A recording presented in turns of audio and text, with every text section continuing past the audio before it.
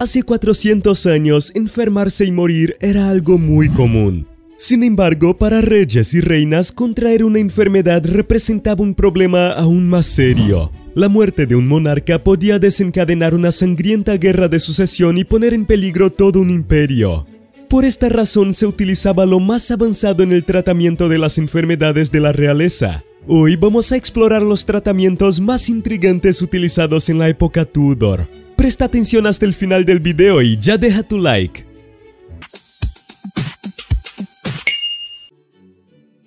La teoría de las firmas.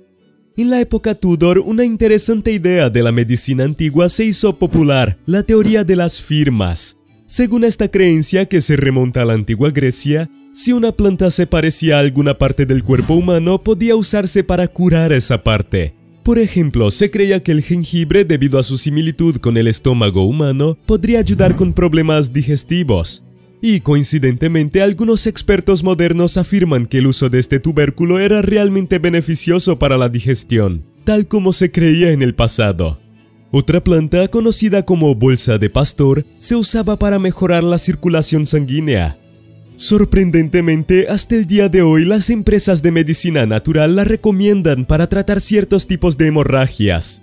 Así que, ya sea por coincidencia o no, esta teoría tenía mucho sentido en su época. Cambio de personalidad.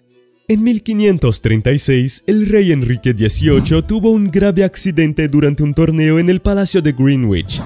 Estaba participando en un torneo de caballos llamado Justa, y durante el evento el rey cayó de su caballo que también cayó sobre él. Ambos estaban usando armaduras pesadas. El rey perdió el conocimiento y estuvo inconsciente durante dos horas. Los historiadores creen que este incidente podría haber causado un gran cambio en la personalidad de Enrique XVIII. Pasó de ser un hombre generoso a convertirse en un tirano paranoico. Curiosamente, 10 años antes, en 1524, el rey ya había sufrido un accidente similar. En esa ocasión, durante otro torneo, Enrique, que no le gustaba bajar la visera de su casco, fue golpeado en el ojo derecho por la lanza de su oponente. Después de ese incidente comenzó a padecer dolores de cabeza frecuentes. El remedio recomendado al rey era bastante simple, nueces, ya que se creía que se parecían al cerebro humano. De manera similar, cuando el caballo cayó sobre él, el remedio indicado era comer nueces cada vez que sentía dolor de cabeza. Hemorroides. Enrique XVIII era un glotón, consumía alrededor de 5.500 calorías al día y gran parte de esta cantidad provenía del consumo de carne. Curiosamente, las verduras, que se consideraban alimentos asociados a las clases más bajas, rara vez aparecían en la mesa del monarca. Además, en la época Tudor, las verduras siempre se cocinaban, ya que en ese momento se creía que comer frutas crudas podría llevar a contraer la peste, Estar con sobrepeso durante casi toda su vida y ser un amante de los paseos a caballo no es sorprendente que sufriera de hemorroides. Además del médico, solo un hombre tenía un conocimiento íntimo de las hemorroides del rey, aquel que ocupaba la posición privilegiada de cuidar e inspeccionar las heces y la orina del monarca. La medicina en la época de los Tudor se basaba en los principios de la medicina hipocrática, donde el color de la orina y la consistencia de las heces se utilizaban como indicadores de enfermedades. Cuando se trataba de hemorroides, el remedio recomendado eran remedios hechos a partir de la raíz de Ranunculus ficaria, ya que se asemejaban a las venas inflamadas en el ano.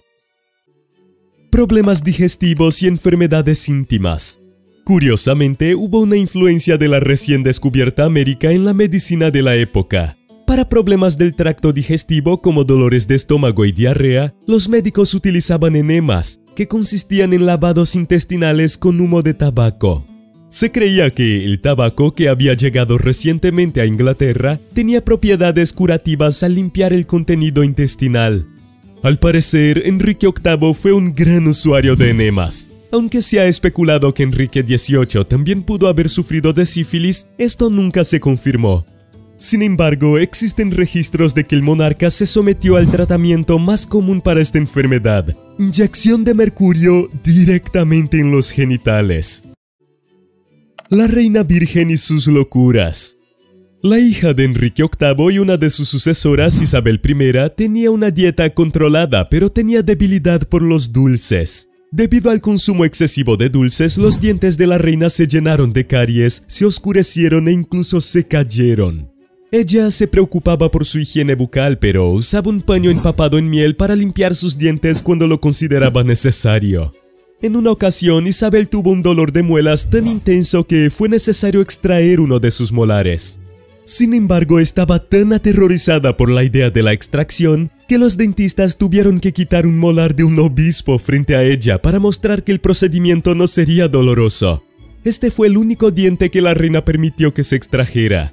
El remedio utilizado para tratar las caries era la Iosiamus niger, que es conocida como hierba loca. Esta hierba estaba asociada con creencias sobre brujas y era conocida por sus propiedades mágicas. De hecho, la planta dejaba a la persona drogada debido a sus efectos psicoactivos, causando alucinaciones y una sensación de flotar. Isabel I era una usuaria frecuente de esta hierba. Piel angelical. En 1562, cuando la reina virgen llevaba cuatro años en el trono, cayó enferma. La reina se puso tan mal que miembros de la corte creían que moriría.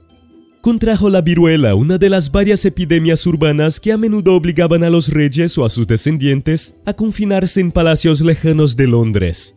Las cicatrices de la enfermedad quedaron visibles en su rostro y esto la aterraba, ya que le preocupaba mucho la imagen de la reina virgen.